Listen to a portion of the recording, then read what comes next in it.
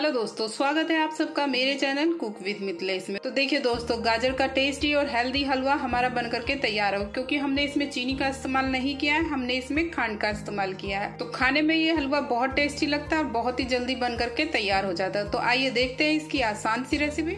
Hello दोस्तों, आज बनाएँगे सबका फेवरेट और सर्दियों का स्पेशल गाजर का हलवा।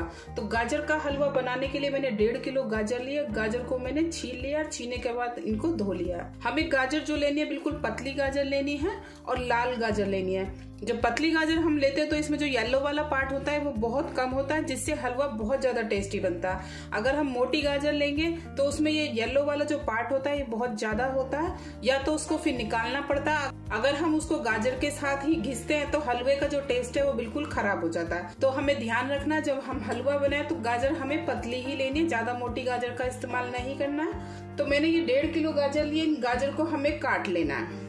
तो आज जो हम हलवा बना रहे हैं, वो हलवा हम कुकर में बनाएँगे। जिसको बनाने में बहुत कम समय लगेगा, जिसके लिए ना हमें मिल्क पाउडर लेना है और ना ही हमें मावा लेना है। और इसमें ना ही हमें चीनी का इस्तेमाल करना है। बहुत ही टेस्टी और हेल्दी हमारा हलवा बन करके तैयार होगा। देखिए, सभी गाजर को मैंने कट कर लिया है। अब हम जितना हमने गाजर लिया है, उतना ही हमें दूध लेना। मैंने डेढ़ किलो गाजर लिया तो हमने डेढ़ लीटर ही दूध लिया। अब इस दूध को हम पहले कढ़ाई में डालेंगे। देखिए, मैंने गैस पे एक कढ़ाई रखी है। कढ़ाई में हम थोड़ा सा पानी डालेंगे। ये मैंने तीन से चार चम्मच इसमें पानी डाल लिया। अब हम इसमें अपना दूध डालेंगे। इस तरह दूध को पकाने से दूध हमारा लगता नहीं है और दूध में स्मेल नहीं आती है। तो ये मैंने डेढ़ लीटर दूध का इस्तेमाल इसमें कर रहे हैं। तो देखिए, कढ़ाई में मैंने दूध को डाल लिया। अब हम इसको पकाएँगे और इसको गाढ़ा करेंगे। मैंने इसमें फुल क्रीम दूध का इस्तेमाल किया। आप इसमें कोई सा भी दूध ले सकते हैं। आप इसमें गाय का दूध भी ले सकते हैं, भैंस का दूध भी ले सकते हैं। मैंने इसमें भैंस का फुल क्रीम दूध का इस्तेमाल किया। अब इतने हमारा ये दूध पक करके गाढ़ा होता है। इतने हम गैस पे एक कुकर रखेंगे। तो देखिए, मैंने दूसरी गैस पे एक कुकर रख लिया अब कुकर में हम दो चम्मच देसी घी डालेंगे। अब घी को हमें थोड़ा गर्म कर लेना है। देखिए, घी हमारा गर्म हो गया इसमें हम अपनी ये गाजर डालेंगे। तो गाजर को घी के साथ तीन से चार मिनट के लिए अच्छे से भूनेंगे, जिससे कि गाजर में एक सौंधी सौंधी खुशबू आने लगेगी और जो हलवे का जो टेस्ट है, वो भी बहुत ज़्यादा बढ़ जाएगा। तो इसको तीन से चार मिनट के लिए हम भून लेंगे।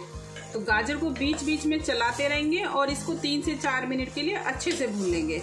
दोस्तों, गाजर का हलवा किस किस को पसंद है आप कमेंट बॉक्स में ज़रूर बताइएगा। मेरे घर में गाजर का हलवा मेरे बच्चों को बहुत पसंद है और मेरे घर में पूरी सर्दी ही गाजर का हलवा रहता है और वीक में एक बार मेरे घर पे गाजर का हलवा बनता ही है, जो एक वीक के लिए रखा रहता है। तो देखिए, गाजर हमारी अच्छे से भून चुकी है। देखिए, इसमें हम डालेंगे आधा गिलास दूध और इसको मिक्स कर लेंगे। अब हम कुकर का ढक्कन लगाएँगे। इसमें चार से पाँच सीटी लगाएँगे, जब तक हमारी गाजर गल के तैयार होती है। अब हम अपना दूध चेक करते हैं कि हमारा दूध भी पका है या नहीं पका। तो देखिए, दूध में हमारे उबाल आ चुका है और दूध हमारा गाढ़ा होने लगा है। इसे हमें बिल्कुल रबड़ी की तरह गाढ़ा कर लेना है। देखिए, दूध हमारा गाढ़ा होने लगा। अब हम देखेंगे कुकर की तरफ़ को। तो कुकर में हमारे पाँच से छह सीटियाँ आ चुकी हैं। गैस को बंद कर देंगे और इसकी स्टीम को हम अपने आप ही ठंडा होने देंगे। इसको हमें स्टीम नहीं निकालनी है जब तक ये स्टीम अपने आप ही निकल नहीं जाती। तो देखिए, कुकर हमारा ठंडा हो चुका है और इसकी स्टीम भी देखिए निकल चुकी है। अब इसको हम खोल लेंगे। तो देखिए, गाजर को एक बार चेक करेंगे कि गाजर हमारी गली है या नहीं। तो देखिए, गाजर हमारी एकदम से मैश हो रही है। अब हमें इस तरह का एक पटेटो मैशर लेना है। ना हो तो आप बड़ी रई भी ले सकते हैं या जिससे घोटना होता है, जिससे साग घोटा जाता है, आप वो भी ले सकते हैं। तो इसको हम मैश कर लेंगे और गैस को ऑन कर देंगे। सभी गाजर को बहुत अच्छे से मैश करेंगे। गाजर को देखिए, इसी तरह से हम पकाते रहेंगे और इसको मैश करते रहेंगे। अब हम अपनी दूसरी कढ़ाई भी चेक करेंगे कि दूध हमारा पक चुका है या नहीं और कितना गाढ़ा हो गया है। तो देखिए, दूध हमारा अच्छे से गाढ़ा हो चुका है। इसमें हम एक चम्मच दही डालेंगे। ये मैं इसमें एक चम्मच दही डाल रही हूँ। और दही डालने के बाद इसको हम हिलाते रहेंगे। इससे दूध हमारा फटेगा नहीं, लेकिन इसमें दाने दाने बन जाएँगे। जैसे हम मिल्क केक बनाते हैं, उसमें दाने दाने होते हैं। उसी तरह से बस इसमें दाने दाने हो जाएँगे। और इसका टेक्सचर बिल्कुल मावे की तरह हो जाएगा। अगर एक चम्मच में ऐसा ना हो तो आप इसमें एक चम्मच दही और डाल सकते हैं। तो दूध को मीडियम गैस पे चलाते हुए इसे पकाते रहेंगे। देखिए, इसमें बिल्कुल दाने दाने होने लगे हमारे दूध में। तो जैसे ही इसमें दूध में दाने दाने हो जाएँगे तो गैस को बंद कर देंगे फिर। अभी हम इसे दो मिनट के लिए और पकाएँगे और इधर हमारा हलवा भी ये पक रहा है। तो देखिए, दूध में हमारे दाने दाने हो गए तो गैस को बंद कर देंगे। देखिए, गाजर हमारी अच्छे से मैश हो चुकी है। अब इसमें डालेंगे इलायची पाउडर थोड़ा सा इलायची पाउडर और एक चम्मच देसी घी। हलवे को हमें अभी अच्छे से पकाना है, तब तक इसका पानी खत्म ना हो जाए। देखिए, हलवे में जो हमारा दूध हमने डाला था, वो सारा सूखने लगा। अब इसमें डालेंगे एक कटोरी देसी खांड। आप चाहे तो इसकी जगह पे चीनी का इस्तेमाल भी कर सकते हैं, लेकिन मैंने चीनी का इस्तेमाल नहीं किया है। मैंने इसमें खांड का इस्तेमाल किया है। खांड डालने के बाद हमारा जो ये हलवा है, थोड़ा सा लिक्विडी हो गया। अभी हम इसको और पकाएँगे। देखिए, हलवे में हमारा जो चीनी वाला पानी था, वो सारा सूख चुका है। अब इसको हम या तो कढ़ाई में डालेंगे, या जो ये कढ़ाई वाला दूध है, वो हम इसमें डाल देंगे। तो देखिए, कढ़ाई में हम इस गाजर के हलवे को डालेंगे। अब देखिए, दूध को गाजर के साथ अच्छे से मिक्स कर लेंगे और इसको अच्छे से पकाएँगे।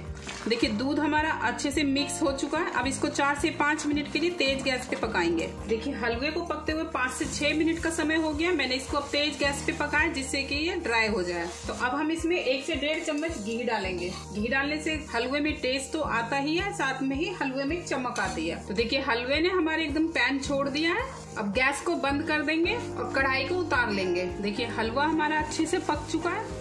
अब देखिए गैस पे एक पैन रखेंगे। पैन में आधा चम्मच देसी घी डालेंगे। घी हमारा गर्म हो जाए तो इसमें हम ये ड्राई फ्रूट्स डालेंगे, जिसमें मैंने काजू, बादाम और किशमिश डाले हैं। इसको अच्छे से भून लेंगे। तो देखिए, काजू, बादाम हमारे भून चुके हैं, इसको हम हलवे में डालेंगे। और इनको मिक्स कर देंगे। अब इस हलवे को हम सर्व करेंगे। तो देखिए, गाजर का हलवा दोस्तों, हमारा तो बन करके हो गया है तैयार। मैंने इसको कुकर में बनाया कुकर में झटपट बन करके तैयार हो जाता है। तो दोस्तों, सर्दी के सीज़न का पहला हलवा मेरा बन करके तैयार हो चुका है। कमेंट बॉक्स में बताइएगा, आप इसको कब बनाएँगे। तो रेसिपी अगर पसंद आए तो ट्राई कीजिएगा और कमेंट बॉक्स में ज़रूर बताइए, आपको ये रेसिपी कैसी लगी। ऐसी ही टेस्टी और आसान रेसिपी देखने के लिए प्लीज़ चैनल को सब्सक्राइब कीजिए, साथ में ही बेल आइकन को प्रेस कीजिए, जिससे की आपको नई वीडियो की नोटिफिकेशन सबसे पहले मिले। तो दोस्तों, ऐसी ही टेस्टी और आसान रेसिपी के साथ फिर मुलाकात होगी। तब तक के लिए thank you and bye bye